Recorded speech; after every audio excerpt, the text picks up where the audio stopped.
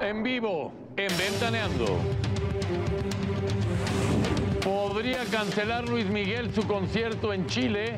Presenta cuadro gripal tremendo. Las fanáticas se vuelven locas y Ventaneando tiene toda la historia. Pues la bisnieta consentida no contará con la presencia de doña Silvia Pinal en su boda. No irá a la de Michelle. ¿Por qué? Tendremos la historia.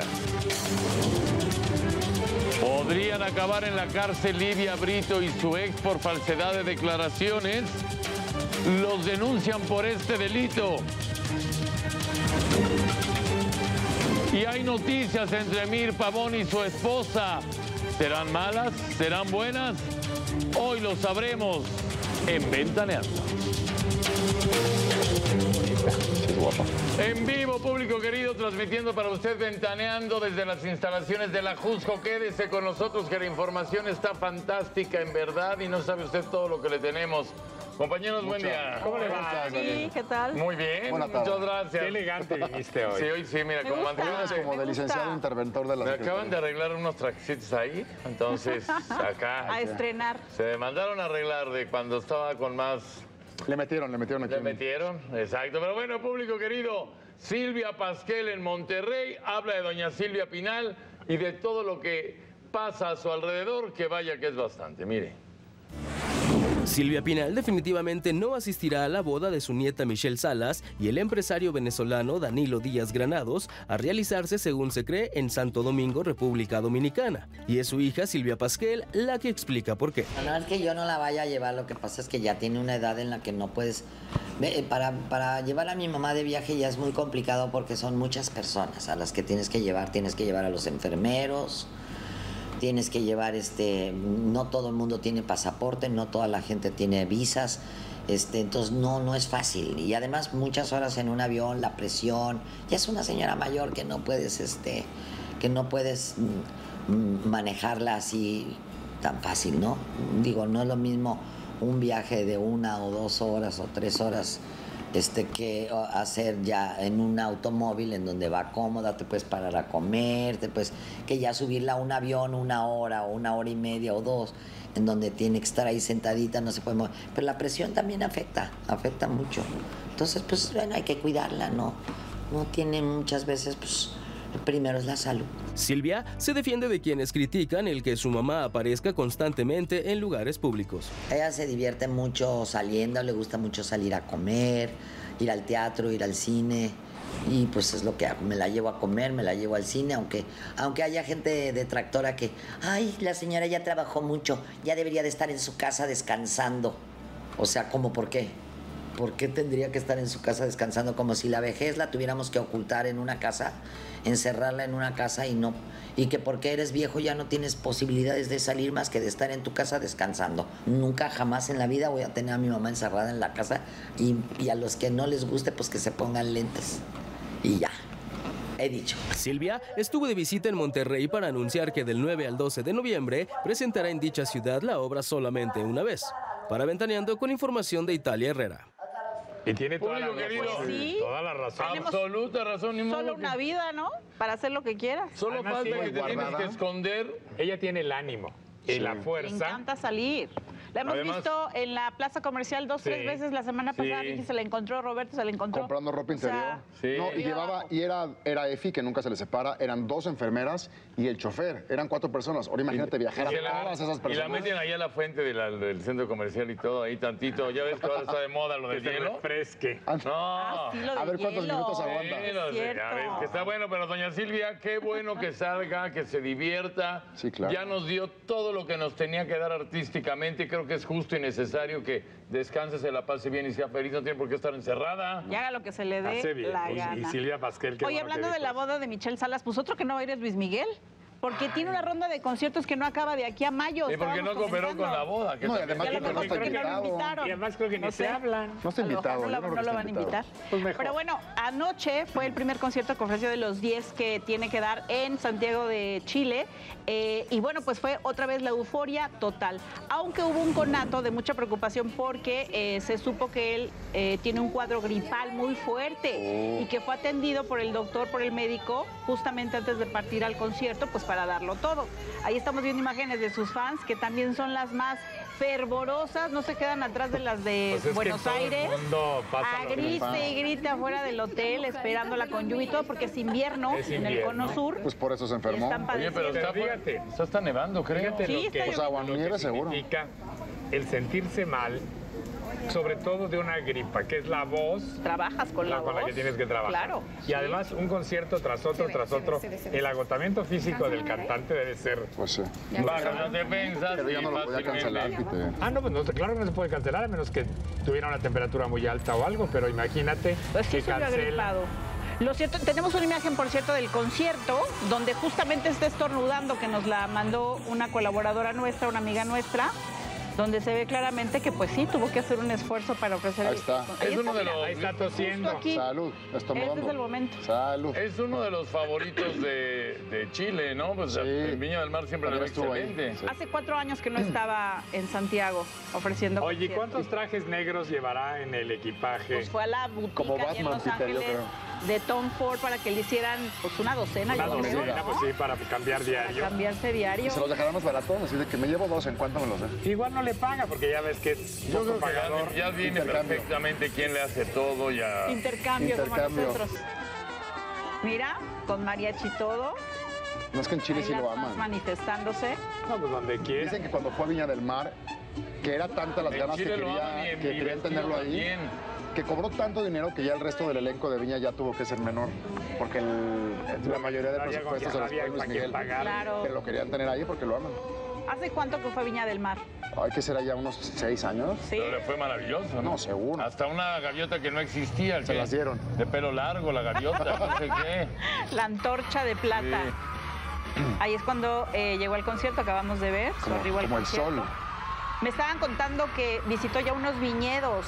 Oh. Así que yo espero que no se haya sentido tan mal y que lo que le haya recomendado el doctor pues lo saque de este cuadro gripal que alarmó a todo el mundo, pero pues finalmente dio su concierto como lo tenía. Hay unos viñedos muy famosos en Chile porque es que el vino chileno es muy... Él lanzó Sí. su vino chileno, su vino mucha tradición. eh, único, Toro se llama. justamente con un empresario chileno, sí, que ahora creo que lo está reactivando incluso. Pues a lo mejor fue a ver la cosecha de su nueva, de su nueva... Fíjate. cómo van los viñedos. línea. ¿no? ¿Qué tal estará el vino? Aquí hay un. Pues estar bueno, en para llevar su uno que nombre. Se llama igual. Sí. Sí. Que es de muy buena calidad. Para llevar su nombre debe ser un... Oye, pues tenemos una entrevista con Yerka, que es la presidenta del club de fans de Luis Miguel, que se llama Rojitas por siempre. En Chile. Avergonzadas en Chile, no, no. Rojitas por siempre en Chile. Ahí en Chichis. Gracias, Yerka, por la entrevista. Aquí está. Yerka, Si en Argentina se convirtieron en un suceso como uno de los más fervientes clubes de fans de Luis Miguel, las admiradoras chilenas del cantante no podían quedarse atrás y desde el primer concierto que el cantante ofreció este lunes en la Movistar Arena de Santiago, se han puesto en guardia las afueras de su hotel y en las primeras filas del recinto donde el Sol ofreció su concierto. Desde ahí pudieron constatar que efectivamente este lunes el cantante subió agripado al escenario, pero según afirman, eso no fue obstáculo para que ofreciera un show de alta calidad. Habla Yerka Astorga, fundadora desde 2012 y actual presidenta del club Rojitas por Siempre de Luis Miguel. un concierto bueno de él por parte de su entrega, pero sí, está un poco enfermo, pero puedo decirte que él lo dio todo, lo dio todo. Entonces, para nosotras, para sus fans, nos da, nos da pena verlo, que él se esfuerza al máximo, pero sí, está un poco enfermo. A pesar de, del- de su problema, digamos, de salud, lo que te decía recién, él lo entregó todo.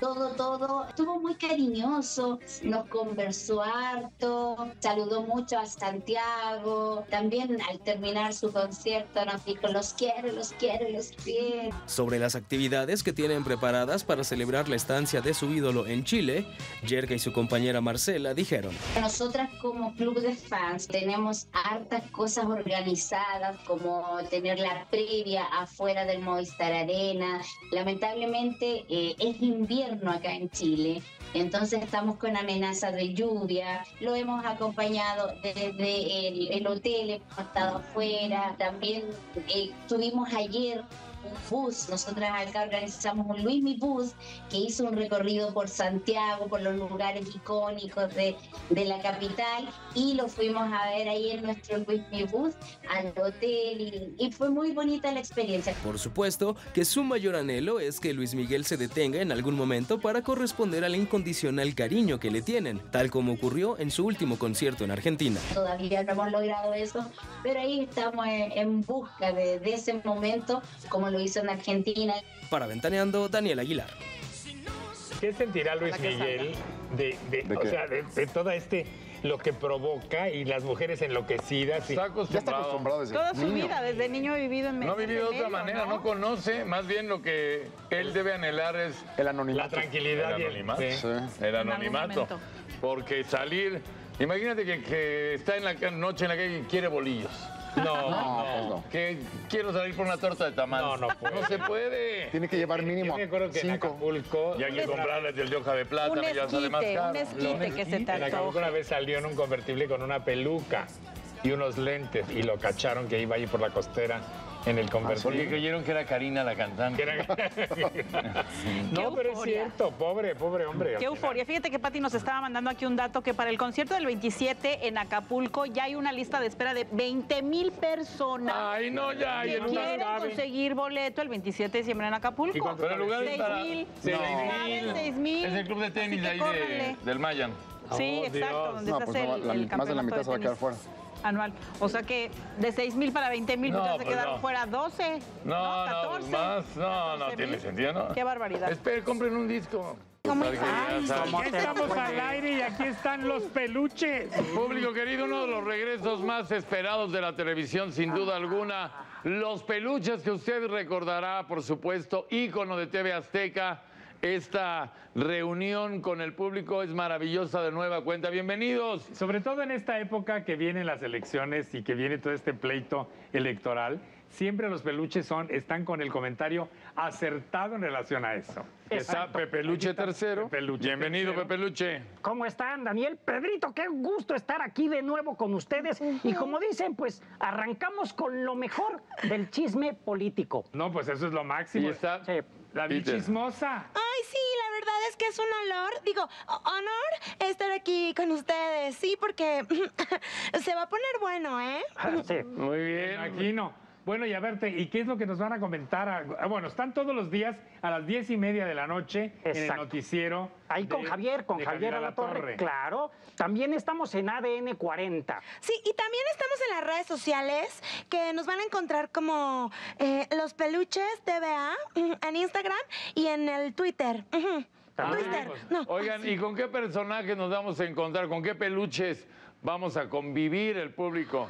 Con todos los de la política y con los que más ruido estén haciendo. Híjole, ya me imagino Ya me imagino a, a Xochitl, aquí va a estar. No.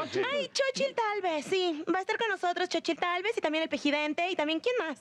Pues, No, pues hay varios que se van a llevar bastante borra para poder hacer el Maldito, peluche. Parco Cortés, los del PRI, los del PAN, los del PRIAN, la oposición, bueno, todo, Mm. hasta la tendencia de moda que ahora es con Huipil, Pedrito, ¿cómo la ves? Ah, no, ya me imagino cómo va a venir este, el peluche de, de, de Xochitl. Ah, no. huipil oaxaqueño. Y es de Beatriz. Paredes. Ah, también, Paredes, también. y es Claudia. Hasta Santiago Cricril se puso Huipil. Pues sí, pero ya ves que Santiago Cricril ya declinó en favor de Xochitl. Bueno, también tenemos ese chisme fresquecito, no se lo pierdan, Pedro. Hoy a las Sí. diez y media de la noche tenemos que ver los peluches, amigos, porque pues ahí vamos a estar viendo todo. Míralos, ahí están los peluches. Que siempre No, de verdad ha sido no, una maravilla.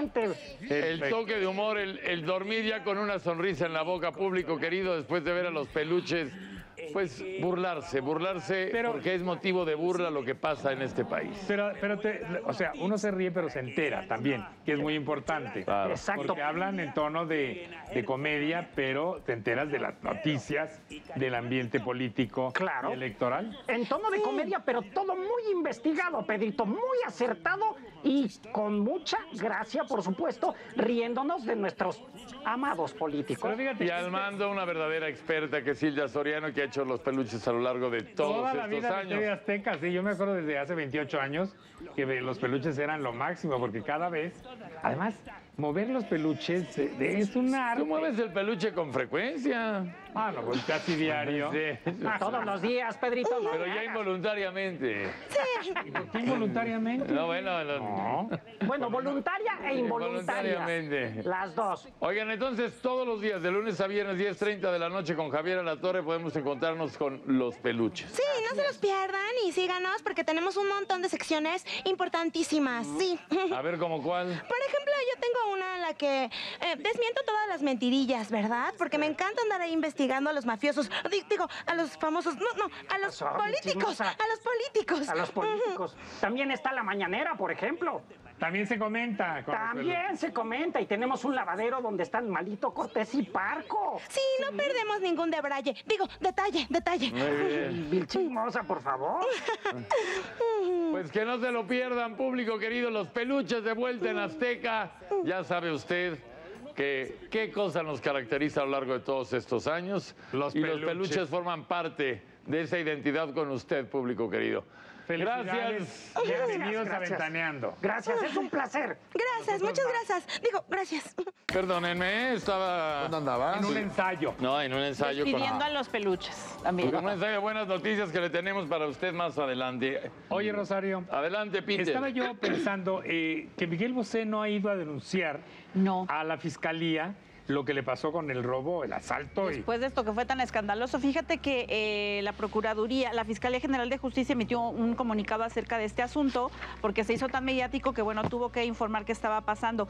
Dice que eh, informa que inició, abrió una carpeta de investigación luego de que en medios de comunicación se difundió un posible robo, no, un, un robo, al domicilio de un cantante extranjero que es Miguel Bosé, ubicado en la alcaldía Álvaro Obregón. Dice, no obstante, hasta el momento ni la víctima o su representante legal ni la administración del conjunto residencial donde ocurrieron los hechos se han presentado a esta fiscalía para denunciar el ilícito. Dice que tanto agentes del Ministerio Público de la Fiscalía de Investigación en la eh, territorial Álvaro Obregón, adscritos a la Coordinación de Investigación Territorial, así como detectives de la policía, etcétera, han acudido en diversas ocasiones al fraccionamiento Rancho San Francisco sin que se les haya permitido el acceso. Esta mañana se entabló conversación con la administración del conjunto residencial, quien mencionó que el afectado no se encontraba en el domicilio y que no era deseo de ella rendir ningún sea, en tipo ese de momento que llegó la policía, relacionada con los hechos. Por otro lado, el representante social fue notificado por policías de la Secretaría de Seguridad Ciudadana sobre el hallazgo en la colonia periodista Alcaldía Miguel Hidalgo de una camioneta color gris que coincide con las características del vehículo, vehículo referido en redes sociales como el que había sido robado. Así es, por estos hechos el Ministerio Público dio intervención a expertos de la Coordinación General de Investigación Forense y Servicios Periciales en las materias de criminalística, fotografía y evaluación, así como agentes de la PDI quienes ya analizan imágenes de cámaras de videovigilancia ubicadas en la zona donde fue encontrada la camioneta. La unidad vehicular fue puesta a disposición del Ministerio Público de la Coordinación Territorial Miguel Hidalgo 2, a efecto de que la víctima se presente a acreditar su propiedad. Bueno, tendrá que ir a recogerla.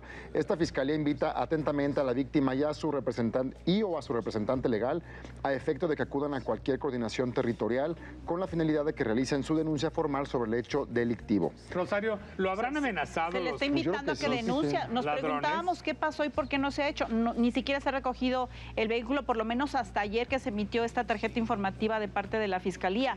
No sabemos los motivos de por qué Miguel Bosé no A mí, habrá a mí me da la aún. impresión de que está preparando una bomba Miguel, eh, sí, Yo siento que lo andan legal y todo esto, que se va a ir con todo. Ahora, acuérdense ¿Crees que que, él ayer Sí, hablaba de algo dicho nada. milimétrico y calculado. ¿Sí? Supongo que él sabe o Oye, intuye 10 quién pudiera haber sido 10 Rosario. personas en su, en su casa, yo sí creo que él prefiere ya dejarlo así. Y ¿Tú luego en crees? un lugar, Yo sí tan, creo. en un lugar tan seguro. Digo, afortunadamente fueron cosas materiales nada más, pero... Un lugar casi impenetrable porque las medidas de Cosas seguridad... materiales, son imagínate el trabajo. No, amigo, pero yo sí creo que él ha de, ha de tener miedo de que tomen represalias en caso de que creo que. Pues sí. debe haber habido complicidad de gente de adentro.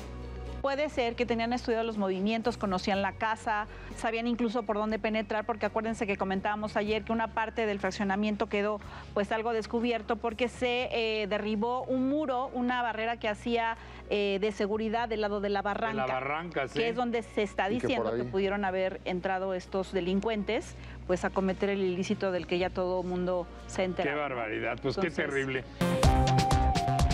En corto, a unos días de la partida de su madre, Andrea Legarreta recibió la visita de su padre, don Juan Legarreta, en una de las funciones de la obra Vaselina. Y es que la vida, pues, tiene que seguir. En corto, como Eugenio Derbez, Ana Gabriel también sufrió una pérdida en la familia. Falleció Mía, su perrita raza Terry, con la que convivió casi 15 años. Le mandamos un fuerte abrazo. En corto, a su paso por Buenos Aires, Argentina, Luis Miguel también fue aplaudido en uno de sus conciertos por el compositor Alejandro Lerner, autor de Dame, uno de sus más emblemáticos temas. Y en corto, Britney Spears pasó un alocado fin de semana en Malibú al lado de un grupo de amigos con los que la pasó muy bien y sin de estar sufriendo por la ruptura con su todavía marido Sam Asghari. Borrón y cuenta. Público querido, pues resulta que Emir Pavón siempre nos tiene noticias. Ya Muy ves buenas. que eh, a veces malas con accidente fuerte, de repente buenas con, con que se casaba y Un embarazo. Pero fuerte, se salvó la No, bebé. milagro. Sí. Una cosa Milagro. El bebé. Y hoy tenemos otra noticia que nos va precisamente Emir Pavón y Estefanía de Aranda, o sea, hace la que viene siendo su mujer. Su mujer. En exclusiva. En primicia para Ventaneando, Emir Pavón y su esposa Estefanía de Aranda compartieron la buena nueva de que en breve su familia crecerá, pues esperan la llegada de otro bebé, el segundo en su matrimonio luego del nacimiento de Matías hace dos años. Pues estamos muy emocionados y felices porque Dios nos está dando otra bendición, que es nuevamente ser padres y eso es lo más hermoso que podemos tener en este momento. Tengo apenas un mes, la verdad es que sí fue planeado el hecho de que Matías cumplió sus dos años el 31 de julio y exactamente el día de su cumpleaños nos embarazamos. Creo que el mejor regalo que, al menos yo lo pienso así, como mamá le puedo dar a mi hijo es el tener un hermano o una hermana para, siem- para que siempre se acompañen, estén juntos, Además, la pareja confirmó la fecha en la que sabrán el sexo del bebé. Sí, vamos a hacer la revelación de sexo. De hecho, para mi cumpleaños, que es el 26 de noviembre más o menos, yo creo que ya vamos a saber. Y sería el mejor regalo de cumpleaños que ese día podamos saber si va a ser una niña o un niño. Finalmente, Estefanía utilizó nuestras cámaras para pedir al público un favor muy especial. Escuche usted de qué se trata. Agradecer por el espacio, pedirles a toda la gente que me tengan en sus oraciones para que todo vaya muy bien. Estoy muy contenta, muy agradecida principalmente con Dios porque se lo pedí y una vez más me está dando esta bendición y esta dicha de poder ser mamá. Es una sensación y una emoción inexplicable, es algo muy bonito y aunque está súper chiquito, de verdad yo ya lo siento. Así es, pues como, como dice mi mujer, pues toda la gente que nos está viendo con mucho cariño, que nos tenga siempre eh, en sus oraciones y con siempre con buena vibra y todo eso para que todo vaya fluyendo correctamente. Para Ventaneando, Daniel Aguilar. Oye, Rosario, pero qué grande está el niño, ¿no? Sí, Sí. pues sí. Qué Tiene rápido. que dos años, me parece. Oiga, Oye, pero no pero tienen trae- que esperar tres meses a dar la noticia. Digo, Bueno, esperemos que todo salga bien. así pero como tener, no, pero pues es como en lo más que amarra, seguro. ¿no? Yo creo que les va a ir bien. y Ay, Sí, claro, estaremos con- después celebrando de el todo lo que nacimiento. pasó. No, claro. pero- Tienen este niño. Oigan, hablando de cuestiones médicas, nos están avisando que en este momento están operando a Rosita Pelayo finalmente Ay, del ojalá tumor y en todo el, bien. en el colon. Eh, la operación durará aproximadamente tres horas y pues nada, solo esperamos que todo salga muy bien. Seguramente. Seguramente sí. Los mejores deseos para mi Rosita. Pelayo. Oye, Tati Cantoral está, pues ella quisiera ir a ver a Luis Miguel porque siempre canta canciones De su papá. Claro. pero no hay boletos, entonces no tiene. No, y le mando un Pero- mensaje de que Ay, pague la pensión, Luis Sí. Miguel, aguas con Que eso. pague la pensión. Que pague lo que debe. Y Tati Cantoral lamenta no haber conseguido boletos para ver a Luis Miguel en alguno de sus conciertos que ofrecerá en México y en los que seguramente incluirá algún tema compuesto por su padre, don Roberto Cantoral. Pero lo que más lamenta es que el cantante siga sin mantener a sus hijos. Ya está vendido todo. Ese hombre vende, nada más anuncia y ha vendido todo. Y dicen que está cantando como nunca. Qué padre, pero ya que mantenga a los hijos de barba, de que de, de Araceli Arámbula. Yo amo a Araceli Arámbula con todo mi corazón y a sus hijos que son idénticos al papá, que los conozco desde que son chiquititos, son los más guapos que Luis Miguel. Y Tati y su hermano José Cantoral ofrecerán un concierto el próximo 31 de este mes, como un tributo a su padre en el centro cultural que lleva su nombre. Y Tati espera no recibir críticas a su talento vocal, como cuando entonó la guadalupana con su muy particular estilo, y es que afirma que ella sí canta. Tengo un disco, sí. Yo sí canto.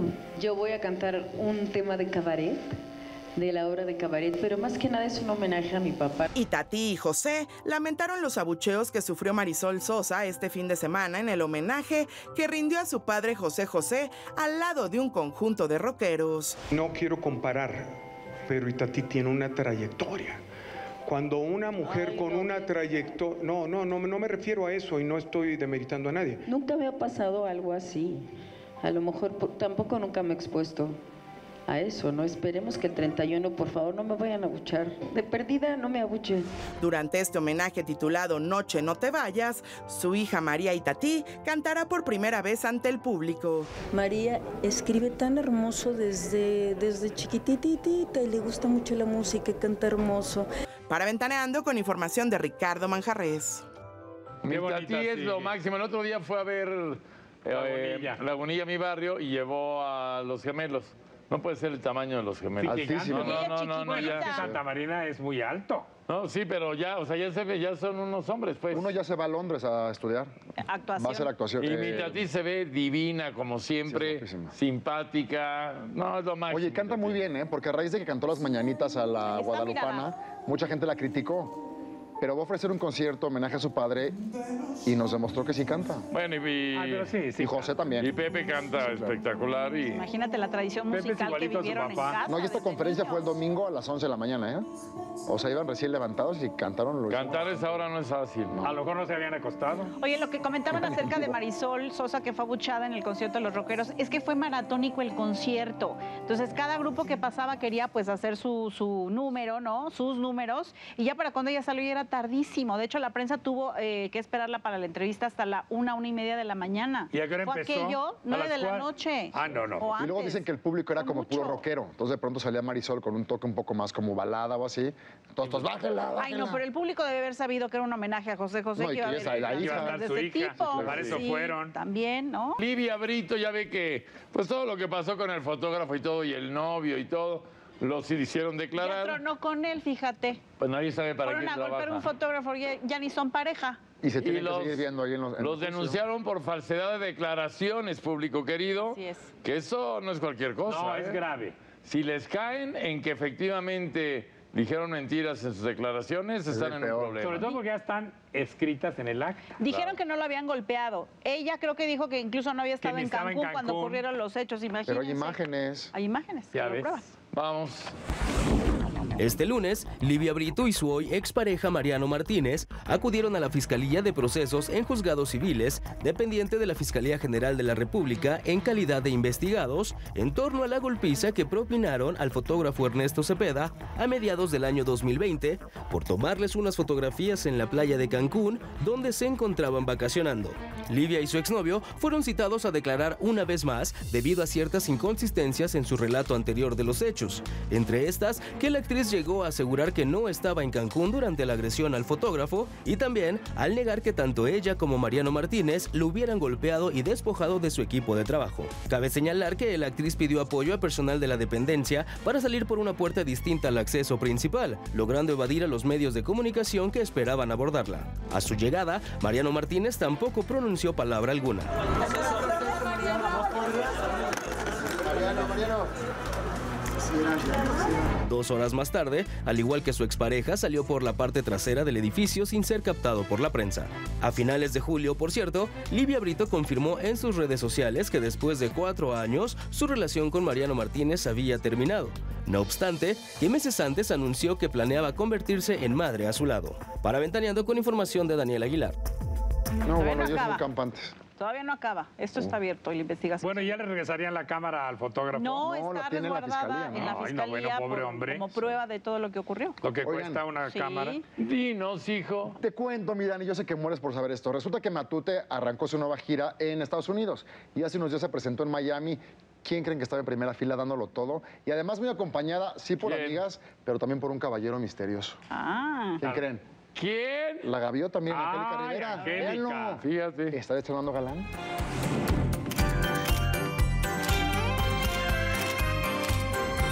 Aunque desde hace tiempo Angélica Rivera ha decidido vivir alejada de los reflectores, Ventaneando la captó hace unos días en exclusiva durante el concierto que ofreció Matute en Miami, Florida, como parte de su nueva gira Party Monster Tour, al que asistió acompañada de un grupo de amigas con quienes bailó y cantó desde la primera fila.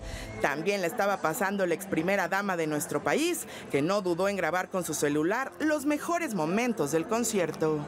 Y por qué no, aprovechó su cercanía a Tana Planter, vocalista de Matute, para pedirle que se tomara una foto con ella y sus amigas.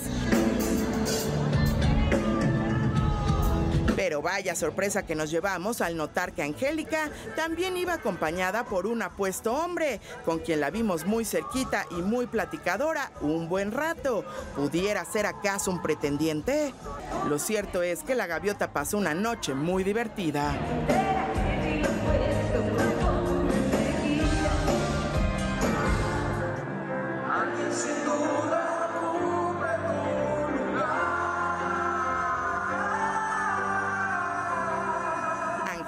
No fue la única celebridad que disfrutó el concierto, pues en las primeras filas también pudimos captar a Jacqueline Bracamontes con su esposo Martín Fuentes, Alan Thatcher con su esposa y Mauri Stern de Magneto. Para Ventaneando con información de Ricardo Manjarres.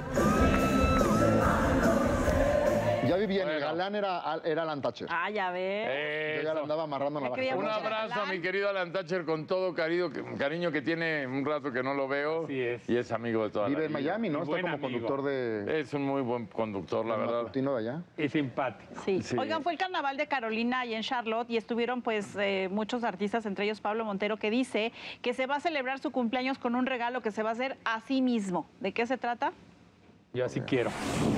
Este domingo se llevó a cabo la edición número 25 del Carnaval de Carolina en la ciudad de Charlotte, Estados Unidos, donde se dieron cita a algunos famosos como Pablo Montero, quien aseguró que su tratamiento a base de un chip especial que le inhibe el consumo de alcohol va viento en popa. Bien, súper bien. Muy bien, gracias. Todo, todo bien, seis meses. Haciendo mucho ejercicio, comiendo bien, con mucho trabajo. Eh, El día de mi cumpleaños me voy a poner otro. El, el 23 de agosto. Ese va a ser mi regalo. Las novias, Pablo, las pretendientes, Eh, las novias son mis hijas. cada vez más grandes y hermosas. Laura Flores, quien este miércoles celebrará 60 años de vida, se dijo tranquila tras dar a conocer su divorcio de quien fuera su marido por los últimos cuatro años, Matthew Flannery. Pero esto sucedió hace más tiempo. Yo no hablé antes porque no estaba lista para hacerlo. Entonces yo creo que ahí sí me lo reservé porque creo que tengo el derecho de, de procesar la- las cosas antes de poder decir, ok, voy a dar la cara. Porque si uno va a dar la cara y va a hablar, tienes que estar listo para hacerlo. Si no, mejor no lo hagas. Por su parte, David Cepeda presumió el tatuaje que se realizó en su antebrazo izquierdo. Es un león en calma, mi hermano. Y, este, y una frase que me ha definido de alguna manera en mi vida, el resistir, permanecer con los pies en el, en el, en el suelo. Y, y también muchas mentiras que han salido a través de los medios ahí que me inventan historias, resistir y aguantar. Finalmente, Alex Ruiz, organizador del carnaval, habló por vez primera de su parentesco con Carlos Bonavides, quien es su padre biológico. Pues mira, es una historia muy larga. Nos llevamos muy bien, pero yo nunca quise decir porque obviamente yo no quería que pensaran que por eso, yo quería hacer mis cosas por mi cuenta, porque además ni el apellido llevo. Él en su época de, de alcoholismo, de, de, de mecatado y todo el rollo, hizo muchas cosas que él sabe y él las dice que no son las adecuadas hasta que llega. Míralo, fíjate. No se parece, ya nos vamos, Peter. ¿Eso vamos, decir? sí, por eso, Yo no, pensé no. que te estaba dando algo, pero no. Lili, no. Corto, corto, largo, largo. Gracias, Adiós. público querido. Nos vemos mañana a la una de la tarde. Corre la voz, ventaneando. Gracias. Este programa de televisión se llama Ventaneando y que el que no cae resbala. Ventaneando es ventaneando.